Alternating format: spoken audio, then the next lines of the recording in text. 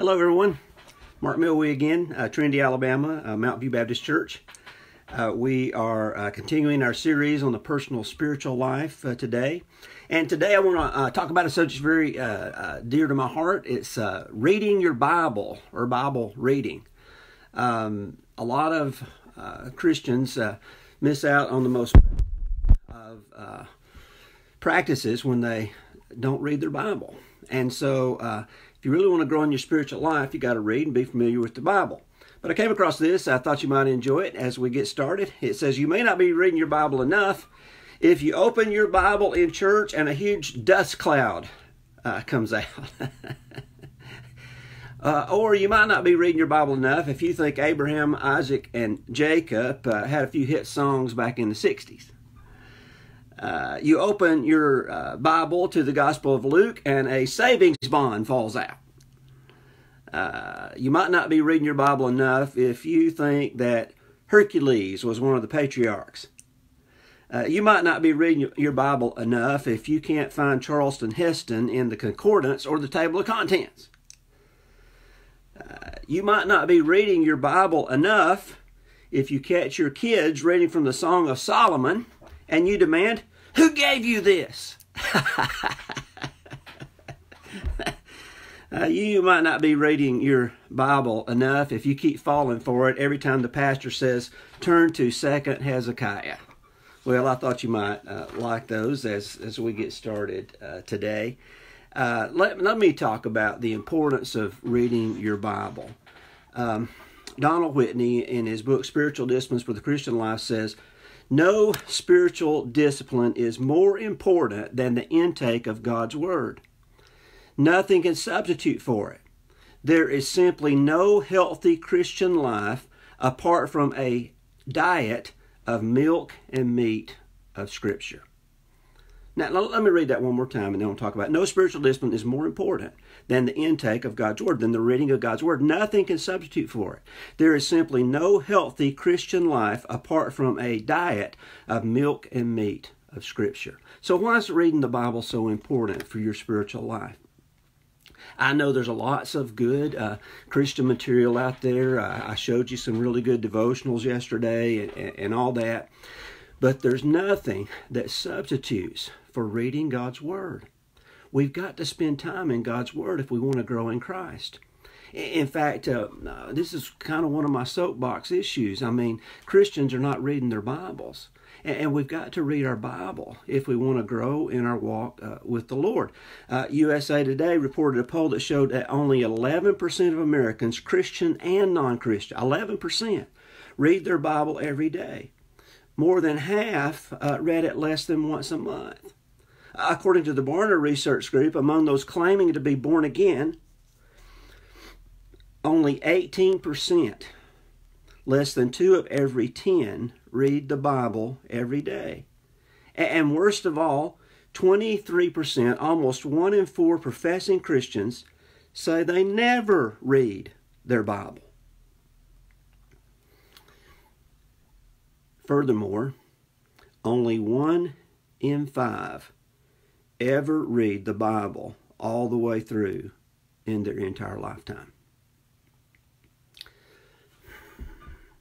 How can you grow if you don't eat?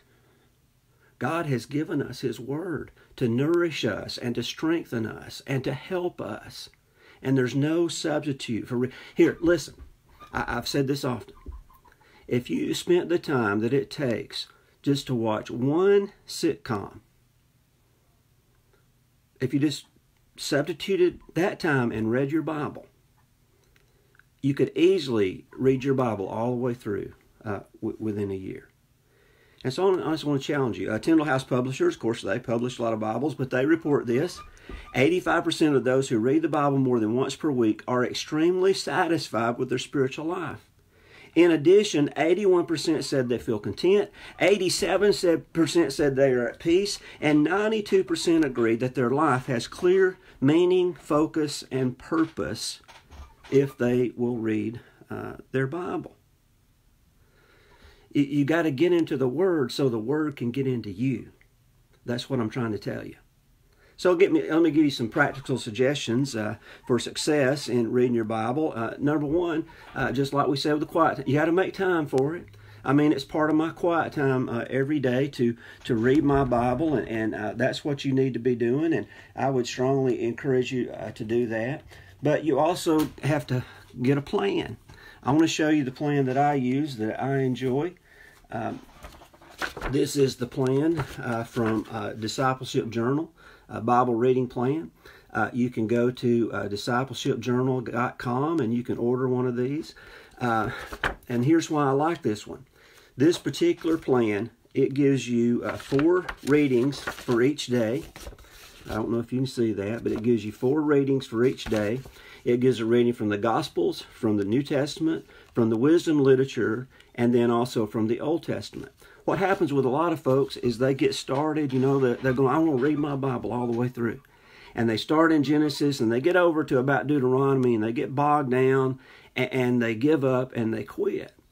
But a good reading plan like this one gives you variety in your reading every day. I also like it because it gives you 25 readings per month and uh, that gives you some built-in days because uh, everybody gets behind everybody misses a day and, and, that sort of thing. So they understand that and they give you some catch-up days. And so uh, uh discipleship journal bible reading plan i've used it for years. I highly recommend it. In fact most uh, bibles now new bibles have a reading plan in the back and so, uh, you know, one final thing about this is if you'll read it, it's got a little box. You just check off the boxes. So, you know, if you just check off what you read each day, then, uh, you know, you can read it in a year, you can read it in two years, you can read it five years. But if you check off what you've read, then you know what you've read. And so uh, that's why a Bible reading plan is good and it helps you. So find the time, find a plan, and then when you read, I, I strongly suggest before you start reading that you um, pray every day and say, Lord, as I read your word today, show me what you want me to know. Show me what you want to teach me today. Uh, and keep a pencil or a highlighter handy and, and, underline those passages that really jump out at you. And, and then meditate, which just means think about it. Think about that passage that's jumped out at you. What's God trying to say to me uh, through this passage today? So let, let me give you some resources that are found in the Bible that are found no, nowhere else. Uh, number one, the Bible contains God's standard of truth. Psalm 119, uh, verse 89 to 91 says, Your word, O Lord, is eternal. It stands firm in the heavens. Your faithfulness continues through all generations. You establish the earth and it endures. Your laws endure to this day, for all things uh, serve you. So God uh, gives us His standard of truth uh, in His Word. You can't find it uh, anywhere else, and and that's one of the other reasons why you need to be reading it. Uh, number two, uh, the Bible is a guidebook for life. I like to call it the owner's manual for living. Psalm 119, 105 says, Your word is a lamp to my feet and a light unto my path. And Proverbs 3, 5, and 6, uh, trust in the Lord with all your heart. Lean not on your own understanding. In all your ways acknowledge him, and he will make your paths straight. So it's our owner's manual. Uh, we need to study it. Uh, I'm sure you've heard that little acrostic for, for Bible B I B L E, basic information before leaving Earth. I, I kind of like that. All right, it's our uh, owner's manual for life. Uh, number three, the Bible comforts, teaches, and encourages us. And I think we all need a little comfort and encouragement right now. Romans 15, verse 4 says, For everything that was written in the past was written to teach us, so that through endurance and the encouragement of Scriptures, we might have hope. I've shared this often. As a pastor now for over 30 years, I've often been by the bedside of folks who are nearing the end of their life. And often during those times, people want to hear from God's Word. They don't ask me to pull out a book of poetry or their favorite novel. They want to hear words of comfort from God's Word.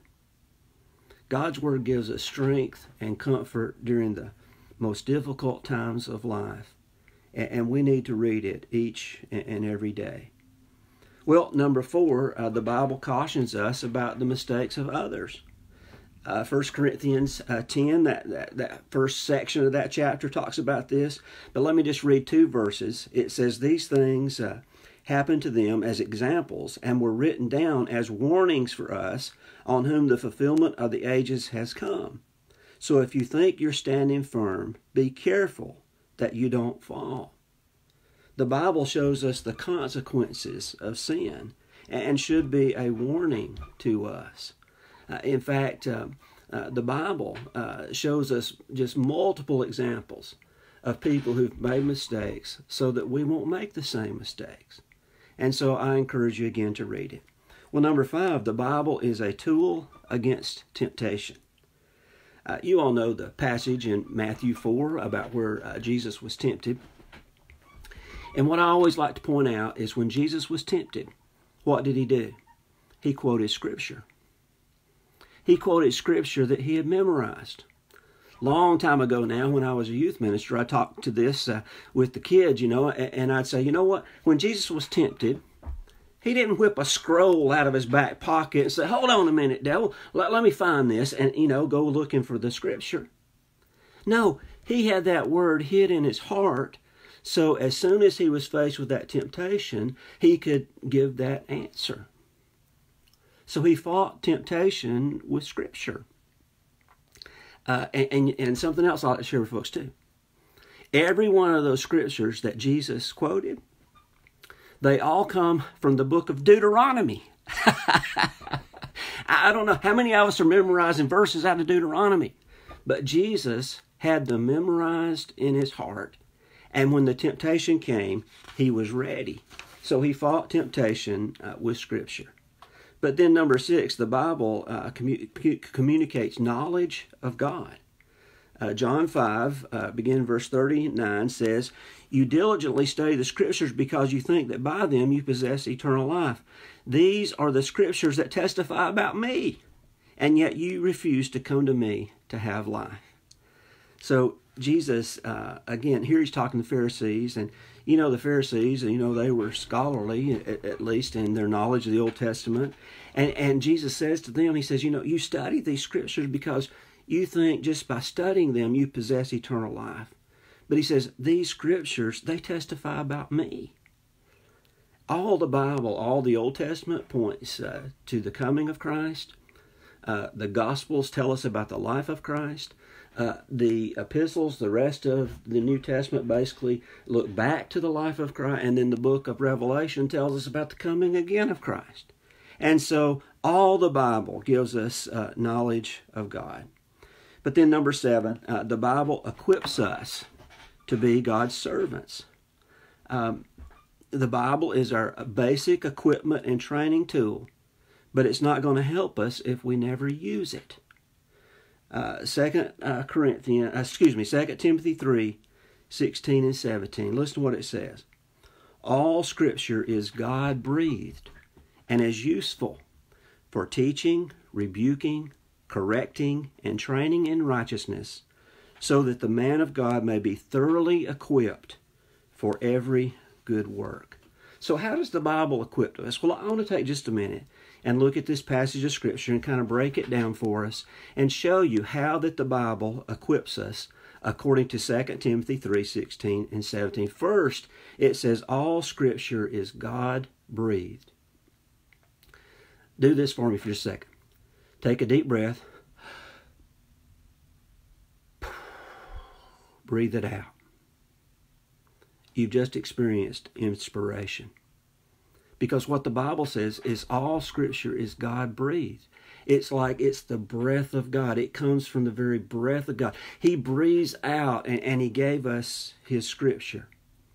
So it's God breathed and it's it's profitable, the Bible says. It's profitable for several things. It's profitable uh, for our beliefs, what to believe and what not to believe. And it's profitable for our behavior, what to do and what not to do. And let me break that down and show it to you. First, let's talk about beliefs. It's, uh, it says, all scriptures God breathed and is useful for teaching and rebuking. Teaching is what to believe, rebuking is what not to believe. So, rebuking is basically convicting of sin and, and error. Teaching is, is correct doctrine. So, it has to do with our beliefs, what to believe and what not to believe. But also, it talks about our behavior, what to do and what not to do. It says correcting, that's what not to do. And training in righteousness, that's what to do. So, Scripture uh, equips us by showing us what to believe, what not to believe, what to do, what not to do. And then what's the goal? That the man of God may be thoroughly equipped for every good work. That word thoroughly equipped just means adequate, prepared, mature, complete, and capable. So God's word, here's the conclusion, is the only method, method by which we can be equipped to be the men and women of God. And God's word is the only message that we have to deliver to people that can lead them to salvation, change their lives, and enable them to grow to maturity as Christians. So that's how the Bible equips us. Now, I know you can't see this probably. Uh, it's one of my favorite cartoons, though. It says, I wish I knew the Bible better. And, and look at that guy. His eyes are all bloodshot from watching TV. I think that's a football game on there. And look at his Bible. Got cobwebs all over. I, I, love that cartoon. Now I want to show you something else, and, and we'll be done. If you can see this. This is a fake Bible that I bought at a home interior store uh, several years ago to use as a sermon illustration. It looks real, but you can see it's hard as a rock. Okay, it won't open, won't open at all. But here's the illustration. This is the only Bible some people really need because they never open their Bible they never read it. They never take it and apply it to their lives. Don't be that kind of person, especially if you're a Christian. Make sure that you use your Bible and that your Bible is, is worn out. You know, uh, you, you need to read it every day so that God can use it to make a difference in your life. Hey, thank you for watching today. God bless you.